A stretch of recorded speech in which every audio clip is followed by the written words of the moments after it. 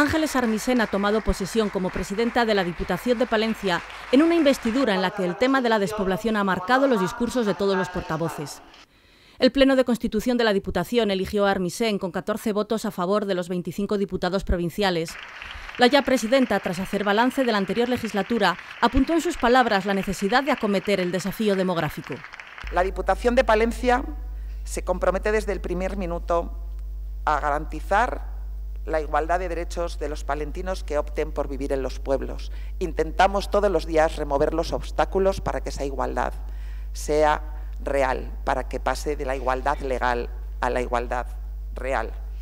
Además de una responsabilidad política, entiendo que es un compromiso moral y de justicia social. Armisen destacó el papel de la Diputación en el descenso del desempleo en la provincia y su desarrollo económico y manifestó su interés de trabajar en los próximos años codo con codo con todos los partidos políticos con representación en la institución. El reto demográfico también ha estado presente en el discurso del portavoz del PSOE, Miguel Ángel Blanco, quien ha subrayado que Palencia a día de hoy no es una tierra de oportunidades ya que sigue perdiendo población.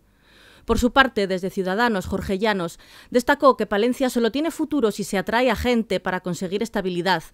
Por último, el portavoz de Ganemos, Eduardo Hermida, también destacó la importancia de este tema.